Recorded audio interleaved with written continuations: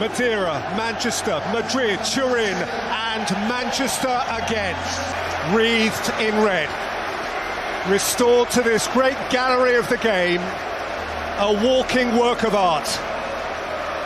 Vintage, beyond valuation, beyond forgery or imitation.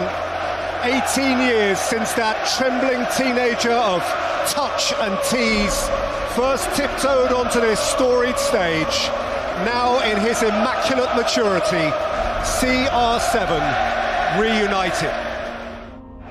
Greenwood. Oh, took a deflection in front of the goalkeeper, and he's in. It is the dream return.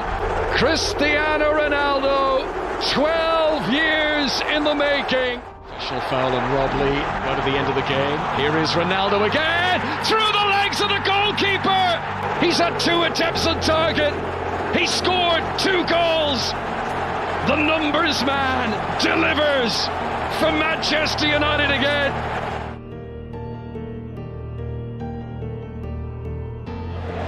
Shaw into Ronaldo!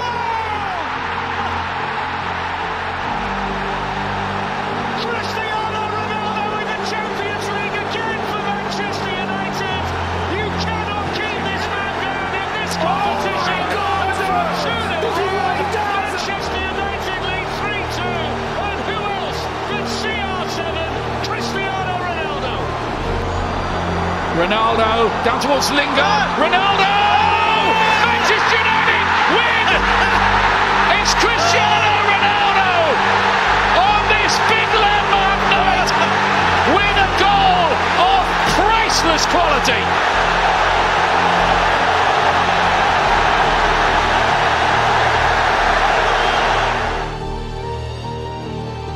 He can score with his left foot, his wrong foot. He can score with his right foot. He can score from distance.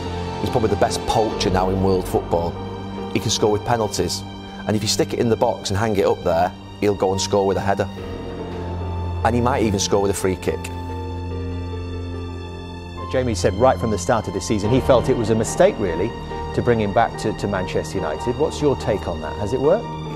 You'd have to say no at the minute. I think he scored goals, he scored important goals in the Champions League early on in the season. He scored obviously the hat-trick against Tottenham. But I think if you look into the future of the club,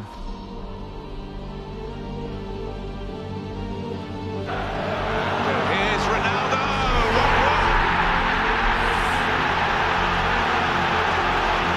Well, he has been a one-man rescue act for Manchester United this season. Fred turning it round to Ronaldo.